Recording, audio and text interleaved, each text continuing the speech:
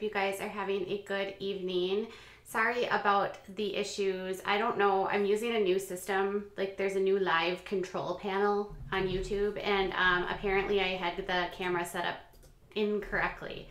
So I wanted to just uh, get that situated. So, all right. If you are new to this channel or you are new to the story, there is a young girl that's at the center of a um, dispute in the state of Indiana. Her name is Natalia Grace Barnett, and she is a young woman who was adopted by a family out of the out of Ukraine um, in 2009, I think. 2008, when she was six years old, she was brought over from Ukraine to the United States. Um, and there's been a lot in the headlines, in the tabloids, and a lot in the media about whether or not she's actually an adult, whether or not she is a child. Um, the media has been portraying her as the orphan um, sent from Ukraine to start a scam against this family um, and try to threaten to kill them and do all of this nasty, terrible stuff and um, pretend to be a child when she's not. They call it the dwarf scam.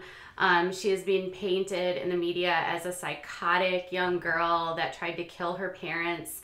And it's been really unfortunate. I'm not even gonna lie, I'm a parent of a child that has disabilities, and the ableism and the really disgusting way the media has talked about her as like the con dwarf or the psychopathic dwarf or the crazy dwarf you know it's it's not only um, dehumanizing to call someone by the name of their disability but it's also really disrespectful given the fact that we actually don't know the full story we don't know whether or not she's um, a child or an adult and calling someone a dwarf and using those sort of derogatory statements in the 2019 is just completely inappropriate.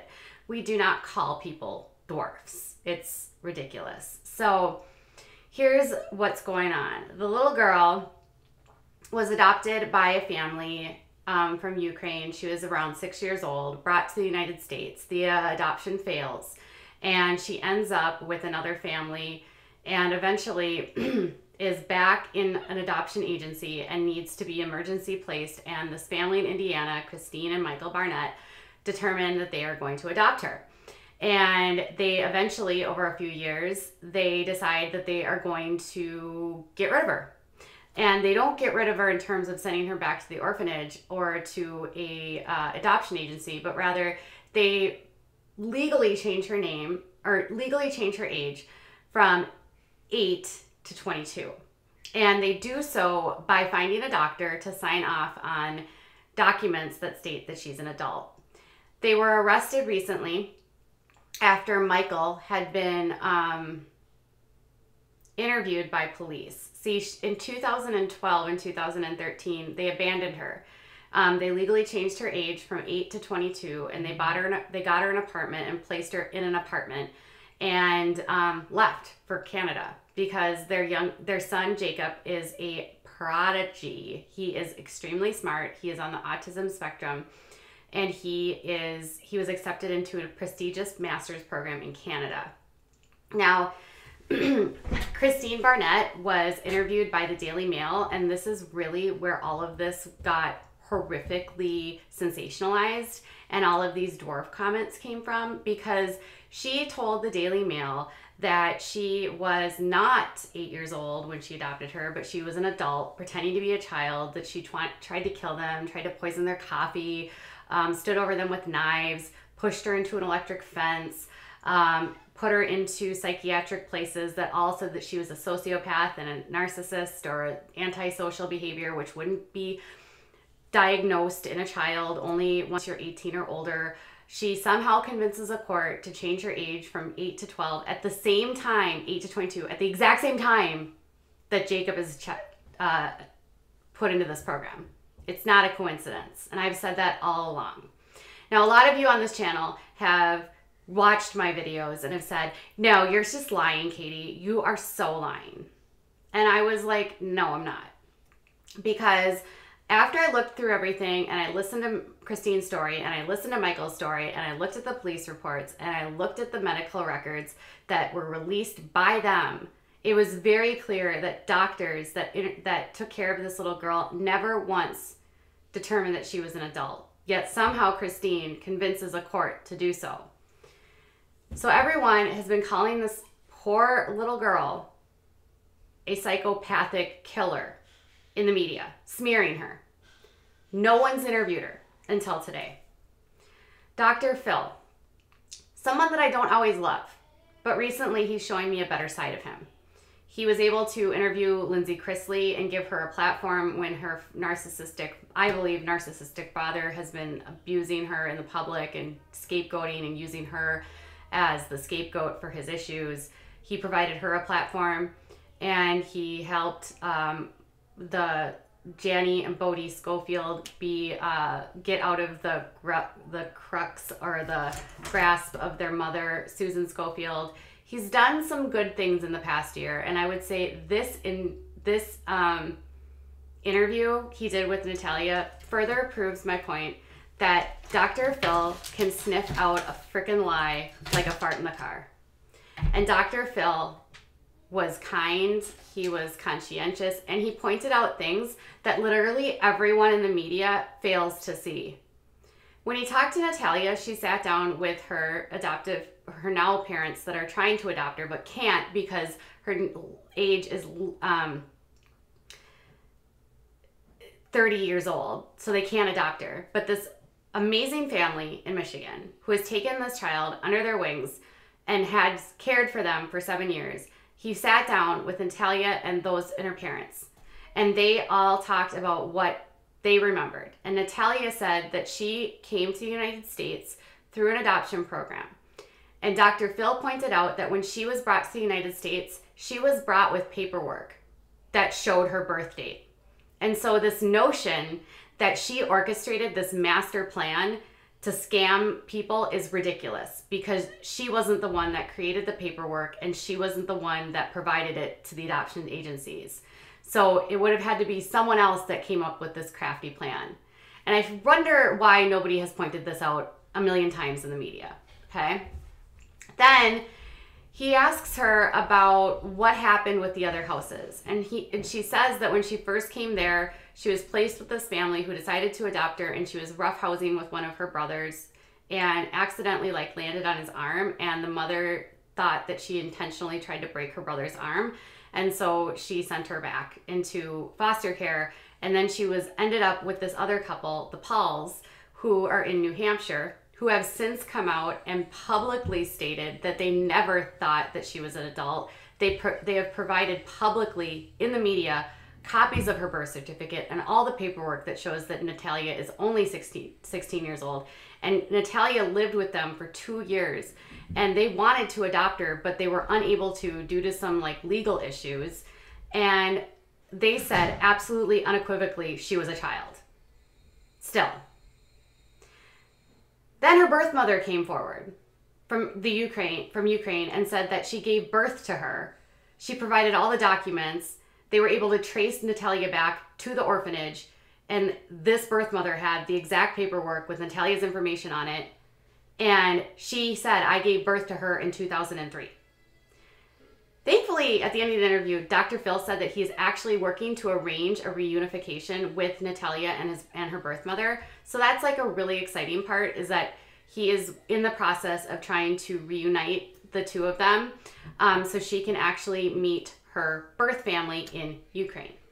And that mother says that the, the Ukrainian birth mother says that she was forced to give her daughter up because she had a disability, and the doctors basically said that she had to, not it wasn't a choice. And they said she would have no quality of life and she had to do it. And she said shortly before Natalia was adopted into the United States, she received a call that she was being sent to the United States, that it was going to be really good for her, um, and that they asked her to sign off on it, and she did. And she signed off, and Natalia was sent to the United States.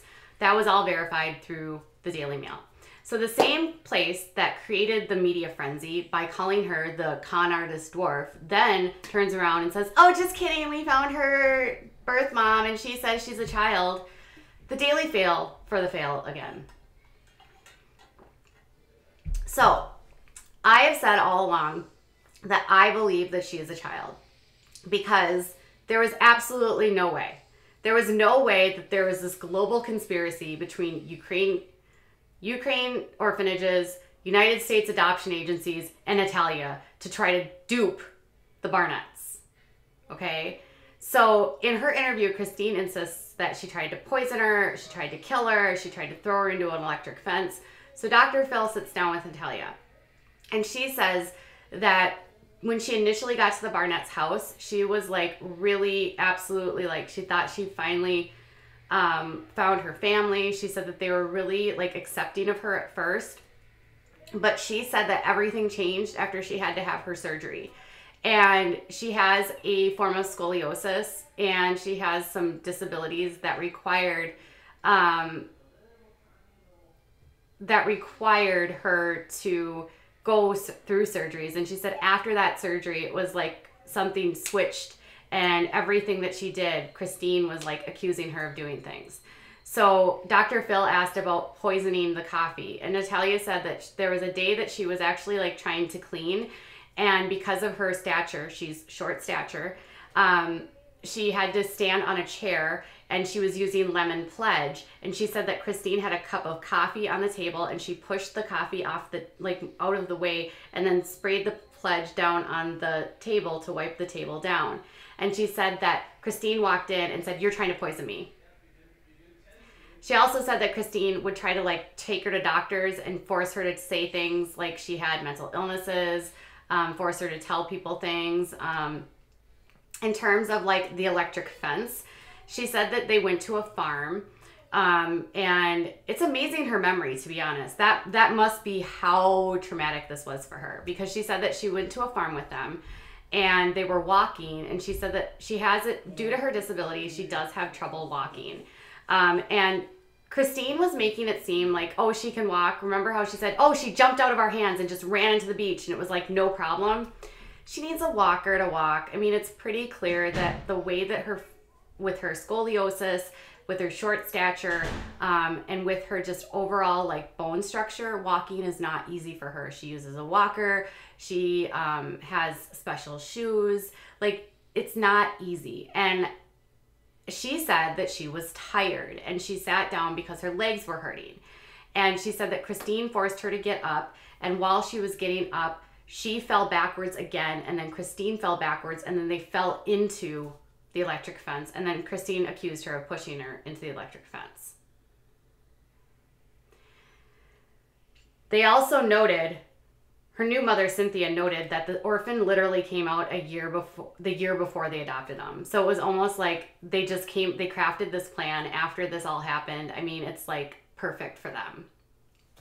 So eventually she says that she just they decide to legally change her name her age. And she said that she didn't even really understand what was going on. She wasn't really told anything, but she knew that they were leaving for um Canada and she was supposed to have more surgeries. And she wasn't able to physically keep up with the family and what the family needed and what the family was doing. And um, they kristine had written a book and she was starting to get all this notoriety for having this really like fam- like smart kid and she says that at that same time they decided to change her age and she had no part of it she was not there for it and then they put her in an apartment and Dr. Phil was like, Well, how did they do that to you? Like, how did they put you in an apartment? And she said that like Michael paid the bills. The Barnetts were around a lot that first year. Um, so she wasn't alone as much as you would have thought. They gave her food. Um, she had people that helped her. She went to school for a little bit. She had neighbors that helped her. Um, but it was after that she was evicted and after they left for Canada that she ended up in a second apartment where she really didn't know what to do and she didn't have resources at all. And that's when the man's met her. And Cynthia and her husband were told, a friend told them that there was this little girl that needed help, that was all alone. And they came and they met her and they invited her over and they said that she never left their house after that. Um, and they said that in the seven years, this is the part that gets me They said in the seven years that Natalia has lived with them, they have never had a single incident of psychotic behavior, never one threat, never a single like isolated incident of any issues related to violence. They said that she is the sweetest young girl that helps with her brothers and sisters, that helps make bottles and cuddles and babysits and is like super involved with the family and is a wonderful sister to her siblings, is a loving and bright young girl. Um, that they were horrified when they found out that she had been abandoned, that they just they couldn't let her stay there. And they said, had they not let her stay there, it could have gotten a lot worse um, because she had had more support in that first apartment. So she says that like I she doesn't even really remember like how she made it work, but it worked and then it didn't work and then she was with the mans and they've been never been able to change her age back. She said that they went to doctors in Michigan um, to do scans of her body and they determined when she was in Michigan, where she now lives with them, that she is actually a child. But because the courts changed her age, she cannot get her age changed back because they don't have sufficient evidence. And they the form of dwarfism that she has or the form of dis- the, the form of the growth disorder that she has makes so many of these scans impossible to like whittle down the age but they use her birth date off of her birth certificate. They say she's 16. She goes by 16, even though legally she says she's 30. She's like trapped because she can't go to school. She can't do anything because the the, the state, the, the government looks at her as an adult. I was like, not, I wasn't surprised at all. Not one iota was I surprised that this girl was a 16 year old. I said it from the beginning. I said it from the beginning. And they asked Cynthia, her mom, why Kristine would do this. And she said that Kristine had a young son that was a prodigy and that Natalia had a lot of surgeries she needed, like a lot.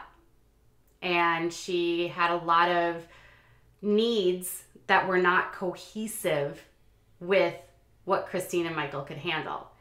And Kristine had built up this image of being this like super mom, and now she was going to go off to Canada, but a child that had such high needs, needing so many surgeries, um, needing so much help, didn't really fit in that lifestyle.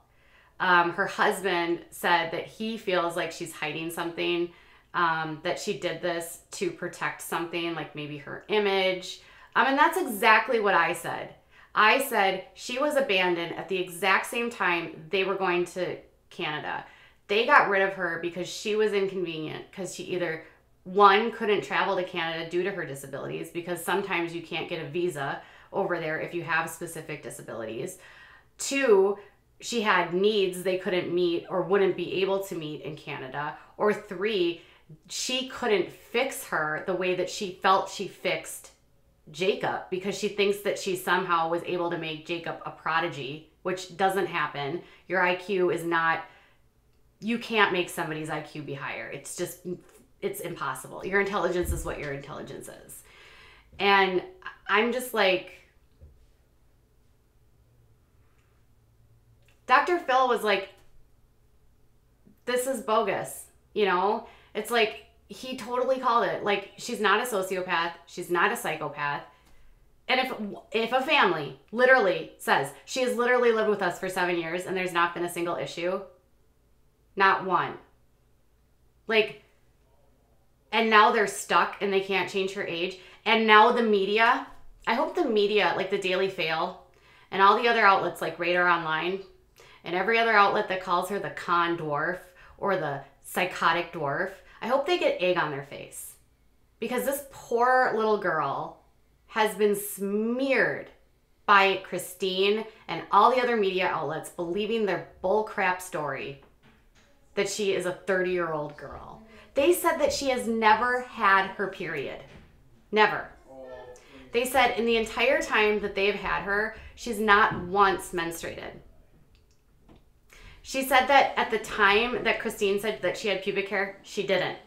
And Kristine told her that she was menstruating, but she wasn't. They said that she was she had baby teeth when they met her and she was losing teeth. They took her to the doctors in Michigan and her growth plates hadn't fused yet and she was still growing. They like I'm so disappointed in the media here. I, I hope to God they sue them for defamation, for mm-hmm. slander. I I hope they these tabloids that have been running this story will like stop because can I just say Dr. Phil was literally the first outlet to say young Ukrainian girl, not dwarf con. I mean, come on. This poor little girl. She's a minor child, a minor, and this is how people are talking about her. Um